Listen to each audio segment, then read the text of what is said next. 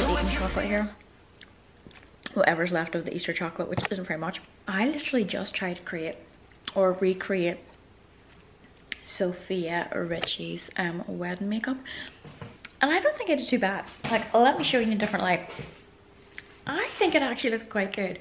But we're not here today for that. We're here for a Zara haul. So I will get stuck into it very soon. Um, I went from uh, shoveling manure today to this. So that was um, quite a switch around, but you might want to know the story, the backstory anyway, to the horse manure before I get started into this haul. If you have been here before and subscribed to my channel and watched some of my vlogs, you know that I do horse riding lessons. And if you haven't subscribed, subscribe because a lot goes on in this channel. I will put this in the next vlog and I might insert a clip here as well.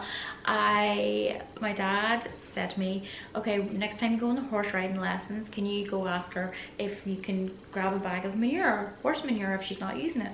I was okay. So I came up today with my big bag and a shovel and started digging in with a pitchfork and got some manure for my dad to fertilize his plants and that's the story. Anyways, uh, if you didn't come here to talk about like manure, you came to see the Zara haul.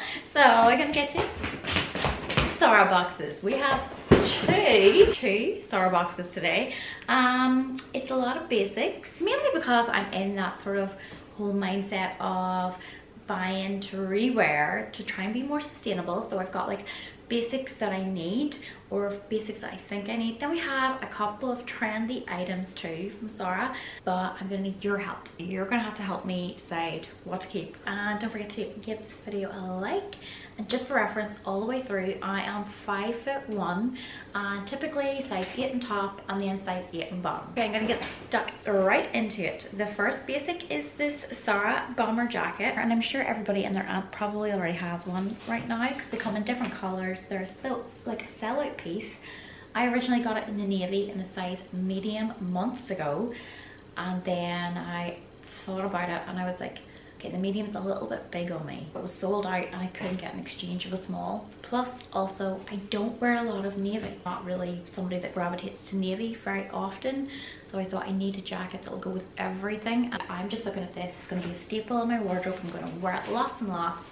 It's got lovely big shoulder pads in it, button poppers, fabric detail here, and then you've got your knitted detail um, on the cuffs. The price of this is $89.99. Oh, the most perfect jacket that Zara actually came out with. I got this red bag, which I think makes it pop even more, um, from Vinted. It's a real leather, genuine leather bag. Jane Shilton, I think. And I got it for six pound on Vinted. It was probably, I don't know, like a hundred pound back in the day. I'm gonna forever be wearing this little jacket. Let's do it up as well for you. It's be perfect with a pair of heels or ballet flats. Like you can just tuck it up and kind of make it look more cropped. I got the size medium last time. It was massive. Size small is definitely better fit and I like oversized, but the size small just has like the perfect amount of oversize look to it. Um, and then you've got little pockets in here. Oh my goodness, are you kidding me? This is one thing that annoys me. Like I do fashion design, this is one thing annoys me. Pockets that are fake, especially for a 90 pound jacket. No. I would almost, I would almost send it back, but I love it too much. but it does annoy me, like pockets. If you're gonna like price the jacket at that price, have real pockets, not fake ones. Sorry, it's just pet peeve. There will be no more negativity on this channel. Positive vibes only. What's that saying after yoga that we do? Namaste. I got myself two pairs of jeans.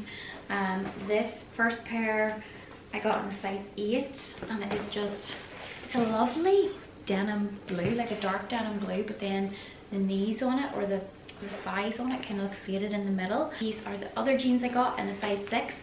I kind of want that oversized look but I didn't know whether I should go for my normal size in jeans which I usually go for a size 6 in Zara. I'm gonna double check but as far as I'm aware they are both mid-waist jeans. The lighter pair is a mid-rise baggy wide leg. The darker pair are mid-rise boyfriend jeans. To me they both look exactly the same. I've only different colours and I got a size 6 and 1 and size 8. Anyway, we're going to try them on together. And then I got this top. So this is my trending piece because obviously I'm not going to wear it loads but I love it. It literally looks like the waist of the jeans here and then they've taken like the leg and they created this top.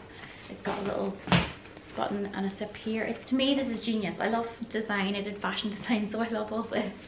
And this is my quirky little piece. And I love a double denim at the moment, which in my last video that I did, my last haul, you will know that I was like double denim, not a thing for me.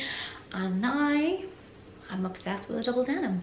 And I got this in a size small and it was $29.99. These are the size 8 jeans first. They're very long, very baggy. They feel very comfortable though. I don't know if the size 6 will be too tight. If they're too baggy looking, are they cool, are they cute? To me, they're like a really nice mid-waist. Let's try on the next pair. Okay, I am literally obsessed, obsessed, obsessed. I love this look so much. Um, this is obviously the size 6 jeans. There are flies annoying me, so if any flies buzz in here, they're annoying me too. I haven't got my back tanned, I couldn't reach any Pierce to help me this evening. So this is how they fit at the back. They just feel like, I know they're slightly tighter, ever so slightly tighter, but they actually feel really good. I think they look really good too. Like, what do you think? I quite like them. I don't know if they're worse or better than the last ones, but um, I like the way they match this top as well. And I love the double denim look. I feel like I get away with this for a night out. I love the detail. I just love this little quirkiness of this top. I mean, I could wear it with um, maybe white linen trousers or something as well. A 90s very Y2K look. I love. What do we think? Jeans wise as well, am I keeping these ones? The other ones, I, I think I'm gonna keep these ones. I think these ones just fit a lot more better. I think they're not even just as long as the other ones and I will probably have to do the same thing that I always do. I always get my jeans and I cut them. It'll give a nice vintage frayed kind of edge to the jeans. It'll give them a bit of extra design value to them. Then I got this little skirt. So I'm on the hunt for this kind of beigey color and a skirt skirt for the summer. The reason I got this one, again, is a very trendy little piece because of the design of the waistband. I love, love this. It looks like it's part of a shirt. Okay, back to our basics. Um, I always keep replenishing my wardrobe with basics, especially whenever, you know, my t-shirts go done. These, I love Zara's basics, like they're a rib detail knit tee. I like them quite tight, so I just got these in a size small. Black and white. I always need to replenish my white ones because having kids, tan, white, always needs to be replenished. 9.99, can't beat it. Okay, so this is a basic t-shirt. I, I love the fit of their basic t-shirts. Definitely staying. This is the skirt. Ignore the legs. They still need tanned. It's not too bad. Again, I don't know. It's maybe it's just probably not something I'm going to wear all the time. I will try it on with my jacket. Cute. Very nice. We like, we like, we like. But, um, yeah. I'm just probably not going to get enough wear out of this. That's the only thing. It is nice. Love the fact it's a skirt. Always feels a little bit more like secure. So got this in a whim. I'm not really mad about sheer stuff because I just never know what to wear with the sheer stuff. So this is like a loosely knitted top which is obviously going to make it sheer i saw it on lauren crow and then she got a size large so then i panicked and thought oh no i've just ordered this in a size small and it looked beautiful on her so i don't know if it's going to go that well on me or look that well on me i actually don't know what i'm going to wear it with so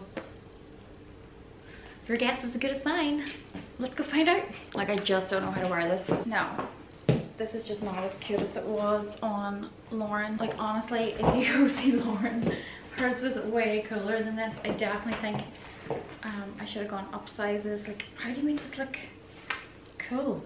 If I tuck this up and make it kind of, is that better? I just feel like this is not really a me top. I feel like it looks like a mosquito net. Whatever way I looked at it there, I was like, looks like I tried to make my mosquito net work. It is not a skirt. This is in fact a dress. It's like a little midi dress, maxi dress. And it is in this beautiful sort of champagne apple color. It's like a real pastel sort of apple shade. It's a really weird color, but it is beautiful. Satin and me sometimes just don't get on, but I'm gonna try it on anyway. Um, this one was $45.99. Looked nice in the model. Doesn't mean it's gonna look nice on me, but we are gonna try it. Okay, so it's official. This dress hates me. Has potential, but it's just not that nice on me. But then, like I told you, satin and me don't get on. I need loads of shapewear. like, what is happening here? I just, I just, like, you know. And also, what's this? Like, maybe if I went up a size, but I feel like if you go up a size, then you lose the security. I just know that this dress does not like me and I very much do not appreciate it either for making me look like this. I also got this skirt, which I thought was again was kind of trendy, cool piece. It is like a draped skirt. I have this idea in my head how nice it will be styled. But my only problem with this is that I've had this in my basket for weeks and it's not even nearly out of stock in any size. So then I was thinking, okay, is there a reason nobody else is buying this? maybe it's a terrible one. Maybe this is a really bad piece and maybe it's a really bad decision by even purchasing this. But I decided to give it a go anyway and try it out. Okay, so again, you're gonna have to excuse the lack of tan on my legs. If I speed up talking, it's because that camera light is flashing at me that the battery's gonna die soon, so that's why. Um, this is what I envisaged for it, something just plain, white top. Um, I know now why people probably didn't keep this because it keeps creeping up and creeping up and I'm short so if you're any taller than five foot one it's going to show everything. It's just not like you know you're gonna have to keep pulling it down. And this is also what I wanted to style with it. It has potential in some ways and in some ways it just looks awful. I'm sending it back because like I can't deal with this like just creeping up on me. Um before I know it I'll be flashing somebody and, and that's that's not cool. This jacket that I got is from the kids section. Yes, the kids section. So I wanted a quilted coat and I did get one from Mango, but I thought I'm not going to get loads of wear out of it. I sent it back because then I saw this kids one and it's a fraction of the price. So this was like 30 pound. The detail and the pattern on it is absolutely beautiful. And if you're five foot one and you want to get something from the kids section, I think this is like 14, 15. I'll double check. Us shorties are getting away with it and we're getting to shop in Zara Kids. That's 13 to 14 years of age. It's cute. I just think for me it's not oversized enough, but like, I mean, what an absolute steal for the kids section. Like, I might actually go um, shop in the kids section more often. And the piece de resistance uh, to go with my nails are these. Actually had um, seen these ages go, they were in my basket, then I took them out and then they went out of stock and then I was like, oh no, oh no, you know the dread, you know the, the fear of missing out, that's what I had. So as soon as they came back in stock, I was like, nope, getting these. I am obsessed with pointed toes at the moment. Pointed toes are my Achilles heel, and so we're. I got these vintage ones of Vinted. I tried looking for silver and I couldn't find any and that's why I had to go back and purchase then these at full price because obviously the vintage ones are on Vinted are a little bit more inexpensive than what you're going to pay. Although these were relatively cheap, there's only 29.99, but these were still cheaper and I'd say these probably cost a hundred pound back in the day and I got them for like 20 pound. So guys, that is everything from my Zara haul today. Thank you so much for watching and please do come back. Don't forget to subscribe and like if you haven't already and I will see you later in the next one. Bye. So let's go see what I got. oh, I'm choking.